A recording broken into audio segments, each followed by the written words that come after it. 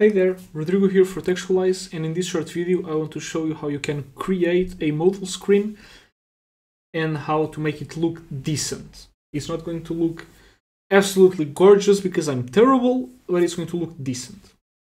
So what I have in front of me is a very basic app with a grid of placeholders, it does nothing. And now what I want to do is when I press M for modal, I want to pop a modal screen asking a random question. So the way I do that is by first going to textual.screen and importing modal screen. And then to create a modal screen, just like you create a regular screen, you just subclass modal screen. So let's say that this is going to be my yes or no modal screen which is just going to ask a yes or no question. And then for now we do nothing. And let's say that we open the modal screen, so we open modal screen when the user presses M. So on a M key press, we do self.push screen. So by pushing a modal screen is how you make it show up on the screen sorry, the word screen just shows up very often.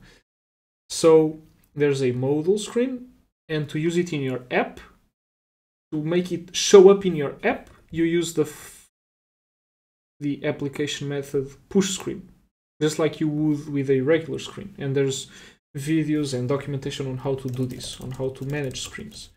So if I run my application, this is the grid of placeholders. If I press M, Notice how the application got dimmer or it dimmed, the application is now dimmed and it looks like when I press, when I click the placeholders, they no longer cycle between the, the ID and the text and the size and that's because the modal screen is opened.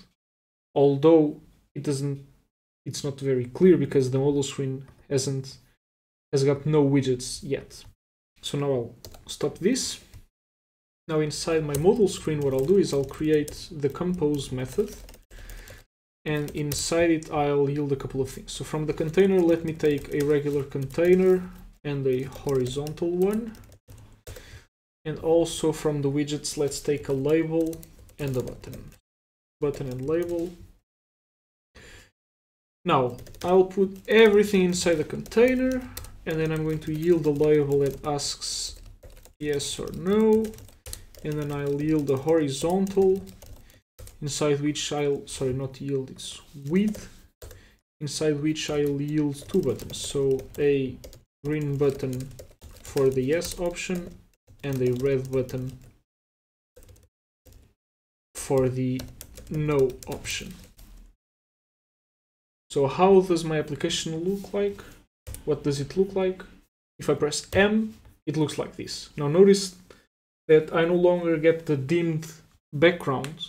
Now everything is pitch black. And as a modal screen, this isn't great. So I'll show you briefly some CSS styling that you can make. So I've connected my application to this file and I have the file here.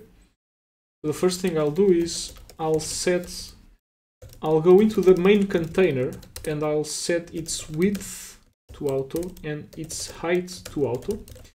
Now, at this point, I've more or less memorized what I want to write, but I've created a video where I showed you the, the thought process and the experimentation process I went through to figure out exactly what I needed to change. So I'm going into the container and into the horizontal inside the container, and I'm setting their widths and heights to auto. And when I save, you can see that the transparency the transparency is back and the only reason it disappeared was because this container and this horizontal were too big and now I can go into the yes or no screen and I can say align center middle and now this gets aligned in the middle. Excellent. And now I'll go into the container. I'll add some padding.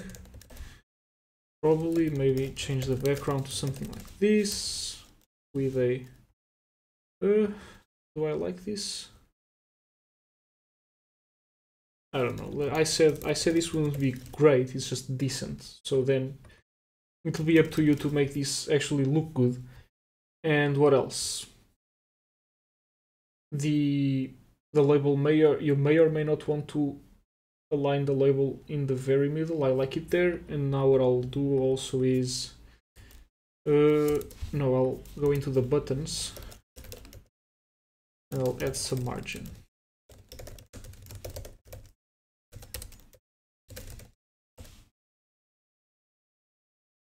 Okay, excellent. This looks much better. Uh, does it? I don't know. Zero, one. Sure, why not? Okay, so this is one way to, to put it. I don't know. The I think the most important thing was to show you how to center everything and to be mindful of the what do you call it the sizes of the container so that the transparency shows so this is how you create a modal screen. You can now you could interact with the buttons and add event handlers to the modal screen and whatnot.